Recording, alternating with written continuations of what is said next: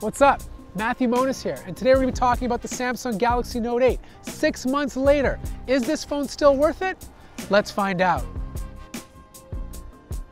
So, I've been using this device on and off for the past six months, and you know, I love the phone, but it's hard for me to make this my daily driver. Not because it's a bad phone, it's actually really good. It's just some of the design changes that Samsung decided to make.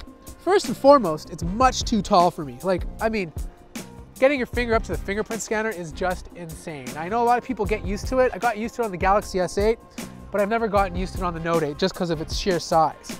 But visually speaking, this is hands down one of the most attractive smartphones on the market. And I still think it is going into 2018. Now, luckily for me, I haven't broke it, but it does get a lot of scratches. I mean, this thing scratches very easily. I got scratches on the display, I got scratches on the back, I got scratches everywhere. That's why I actually put a Dbrand skin on it so that I don't get any more scratches.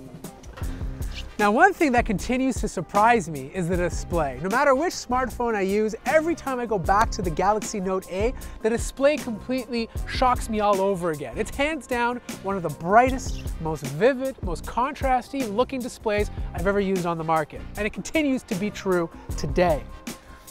But it's 6.3 inches, and that's a lot of inches for a lot of people. For me, I like using it as a medium consumption device, but it's hard for me to carry on a day-to-day -day basis just because of its sheer size.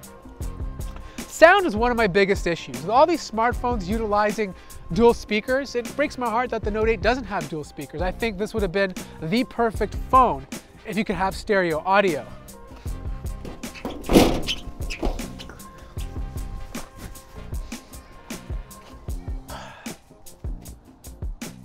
Let me know when you're ready. Performance has always been a big problem with uh, Galaxy devices, but the Galaxy Note 8 has kind of surprised me. It's still running smooth, just as the day I got it. Now the Galaxy S8 with its four gigabytes of RAM was a different story. That thing started to slow down a few months later. But the Galaxy Note 8 with its six gigabytes of RAM, its beautiful Snapdragon 835 processor is running very well. Now it's not Pixel 2 smooth, no phone is, but it is very smooth for a Samsung device. Now let's talk about that software. That is one thing that always bothers me about Samsung phones. The heavy theming, the TouchWiz, it just doesn't feel cohesive like the Pixel 2 does. I'm impressed with Samsung. They're getting better every year.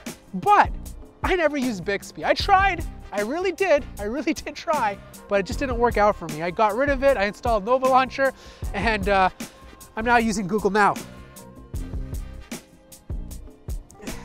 Charge your battery here, 50 cents for the hour, $2 for two. We'll get you ready for the, oh, hey, Galaxy Note 8 battery life. Hasn't been a great experience for me.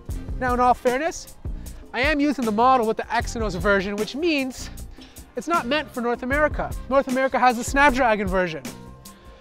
I'll tell you this, I can't get through the entire day with this smartphone. In fact, I can barely make it through half, especially if I'm doing heavy usage. I have to literally charge it midday to make it through the entire day. But I have talked to other tech reviewers and they get a full day's use with no problems. I think the battery life should have been better for most people. I mean, this phone is huge and therefore there should have been a bigger battery like the S8 Plus. So here's the bottom line. The Galaxy Note 8 is a fantastic smartphone. In fact, this is the best phone Samsung has ever created. The design, the functionality, the display, the camera, and if you're an S Pen user, you're gonna love this device. Now, I'll be honest, I didn't pick out the S Pen once when I was using this phone, maybe once to do a couple of sketches. And that's just because I personally don't need it. But I do see the appeal for it. To be able to sign contracts, sketch, draw, is fantastic for a lot of people, especially those who swear by it. Now, is it worth it six months later? I think so, especially if you can get a deal on it. But it has tough competition. You got the Pixel 2, the Pixel 2 XL, you have a great phones from Huawei, the list goes on.